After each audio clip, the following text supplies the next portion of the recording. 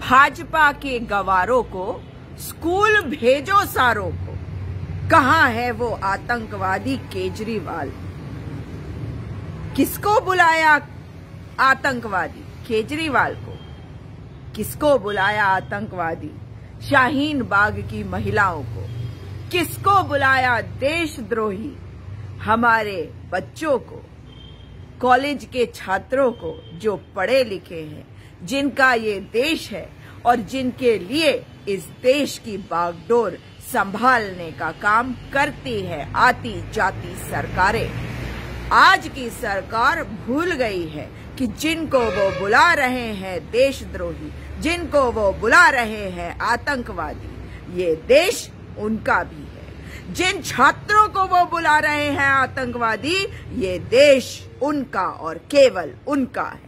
क्योंकि ये देश को आगे ले जाने का काम ये पढ़े लिखे नौजवान करेंगे। तो ये सरकार डरती है। साथियों, दोस्तों, जय हिंद। आपसे मैं सुजाता पॉल देहरादून से जुड़ रही हूँ और आज बात करना चाहती हूँ दिल्ली के चुनावों के बारे में और इस सरकार के डर और भय के बारे में। भारतीय जनता पार्टी की सरकार डरी हुई है।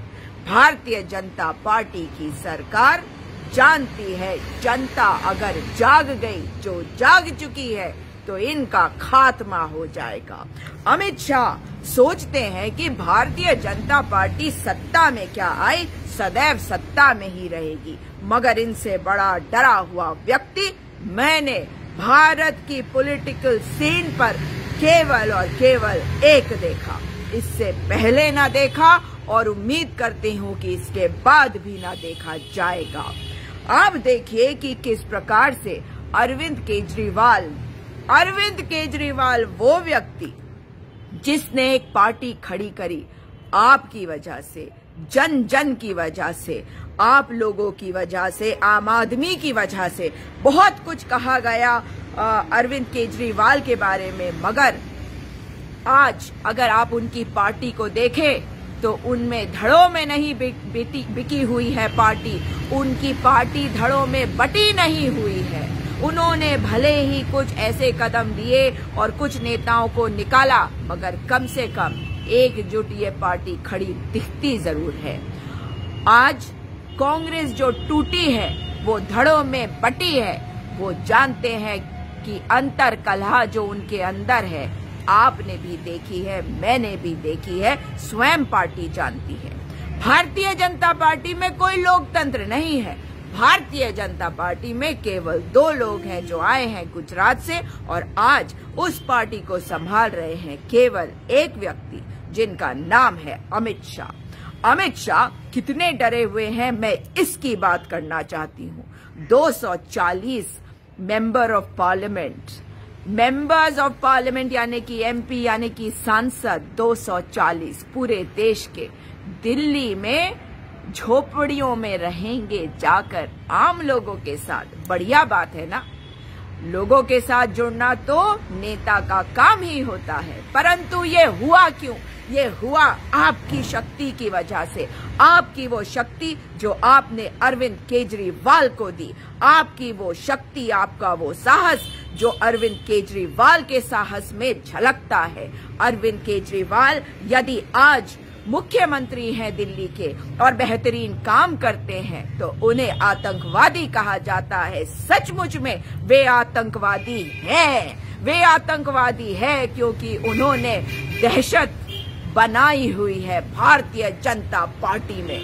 देश की सबसे बड़ी पार्टी नहीं दुनिया की सबसे बड़ी पार्टी के अंदर दहशत बनाने वाले अरविंद केजरीवाल आपके भरोसे खड़े हैं। आज अरविंद केजरीवाल को अगर हराने की कोशिश करी जा रही है तो लोकतांत्रिक तरीकों से नहीं करी जा रही है।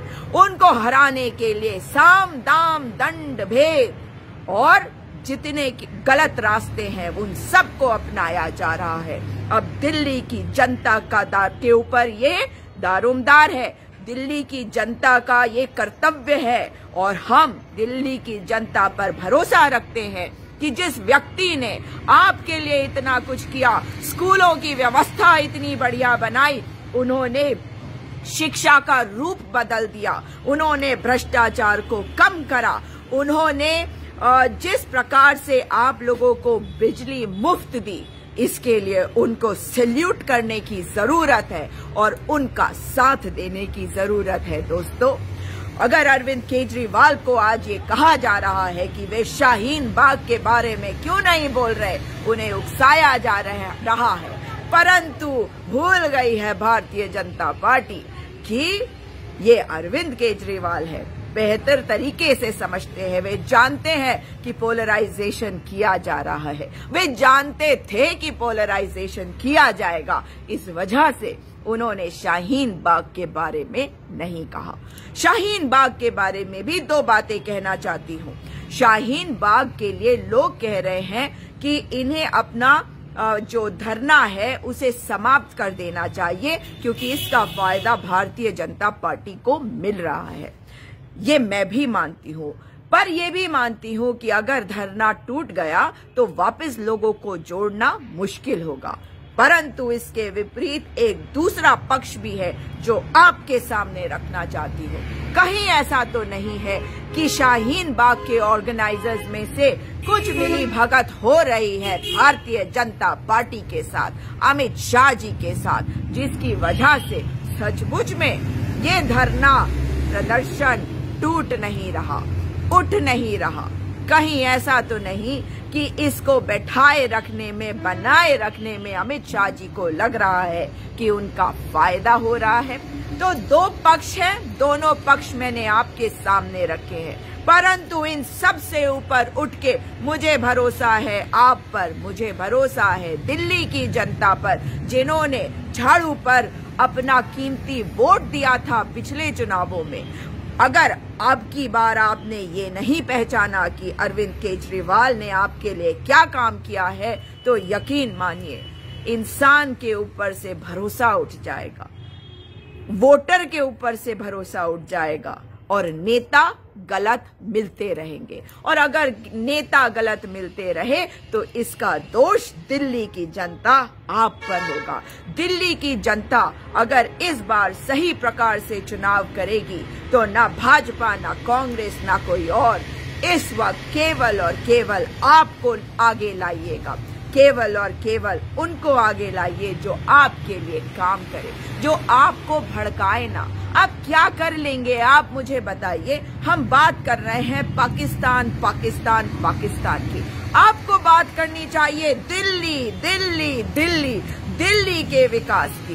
दिल्ली के विकास को देखिए और देश के विकास को देखिए। कितना बड़ा अंतर है।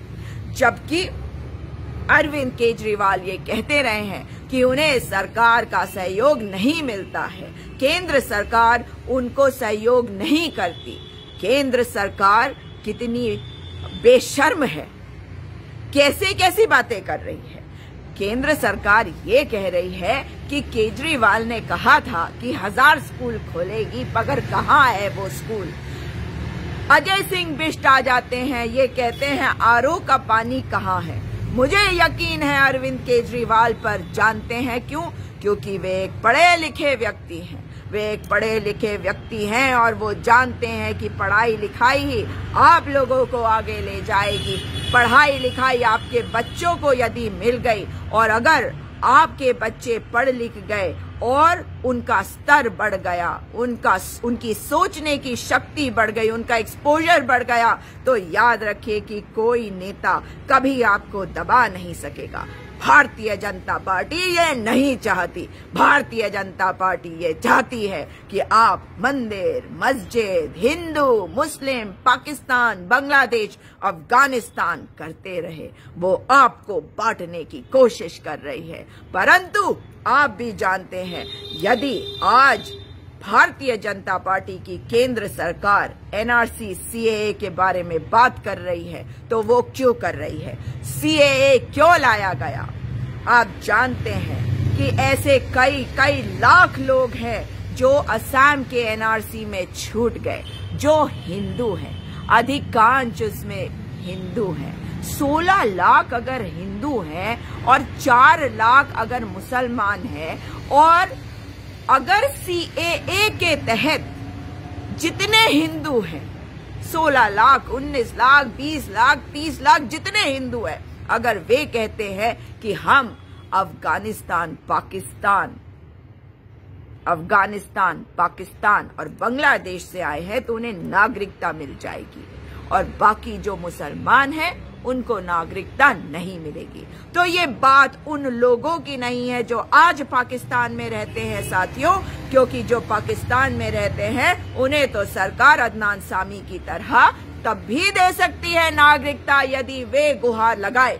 आप मुझे बताइए कि क्या आपको ये नहीं पता कि हम अपने अपने मुसलमान भाइयों के बारे में नहीं पसंद करते कि इमरान खान एक भी शब्द बोले। हमारे मुसलमान भाई बहन भी नहीं पसंद करते कि वे एक शब्द भी बोले। अपना मुँह खोले हमारे देश के अंदरूनी मामलों को लेकर। तो हम क्या कर रहे हैं? हम पाकिस्तान के अंदरूनी मामले के बारे में बोल रहे हैं। अपने देश में रहने वाले गरीब, दलित हिंदू हर प्रकार के गरीब और दलित समाज के बारे में नहीं बात कर रहे, दबे हुए, कुचले हुए लोगों के बारे में बात नहीं कर रहे, उच्च समाज की बात नहीं करिए। जो उच्च जाति के लोग हैं, ये केवल उनको उच्च समाज समझते हैं। समाज समाज होता है और समाज वो होता है जिसमें हर व्यक्ति बराबर का होना चाहिए।